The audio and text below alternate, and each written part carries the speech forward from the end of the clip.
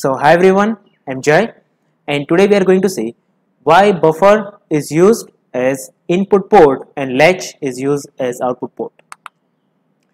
This is a block diagram of input interfacing. If you want to interface any input device, you have to draw this figure.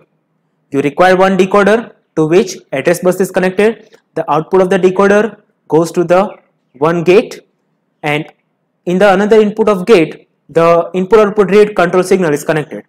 The output of the gate is connected to buffer. You can see that at the one side of buffer the data bus from the microprocessor is connected Into the another side of the buffer we will connect some input device.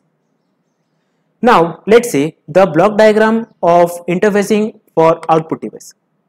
You can see that the to interface output device the block diagram almost remains the same but the only difference is that the port is changed. For the input device the port was buffer. For the output device port is latch. And the control signal also changes. So for the input device we saw that the control signal was input output read. But now the control signal is input output write. Now let's see one example to interface output device. You can see that in the figure to the another side of port we have connected LEDs and LEDs are connected in the common cathode configuration. Now what is the meaning of common cathode configuration? Common cathode configuration means the cathode part of the LEDs are connected together. So you can see that the cathode part of the LED is connected to the ground but the anode part of the LED is not connected together. The anode part is connected separately to the one side of the port. Now let's see how to glow all the LEDs. To glow all the LEDs, you have to write one program. So the program goes like MVI A FFH and out ETH. What is the meaning of MVI A FFH? It means the FFH data will be stored in the accumulator out ATH, it means the data in the accumulator will be transferred to the port and to the LED.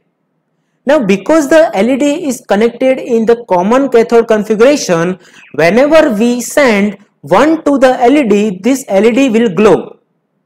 So if you convert FFH into binary, you will get all ones.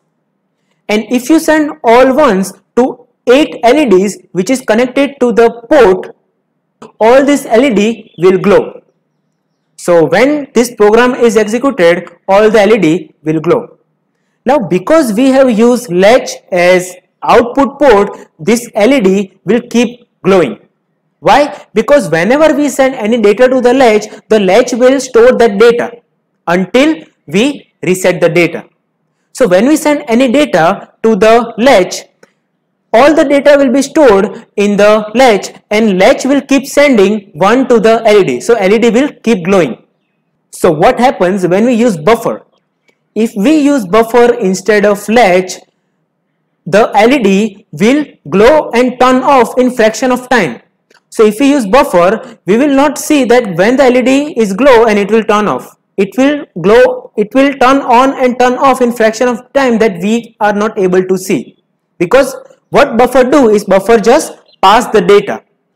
So if we want to interface any output data, we will use latch because we want to keep glowing all the LEDs. Now let's see why we are using buffer as input port.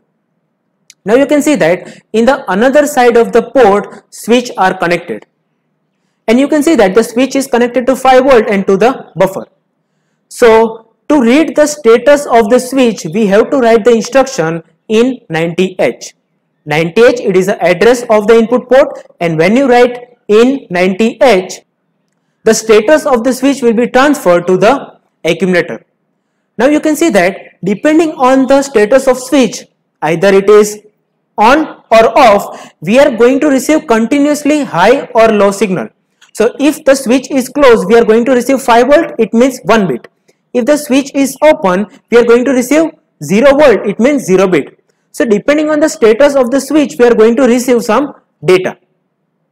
Now you can see that depending on the status of the switch we are continuously receiving data. So it means in this case we are not required to use latch.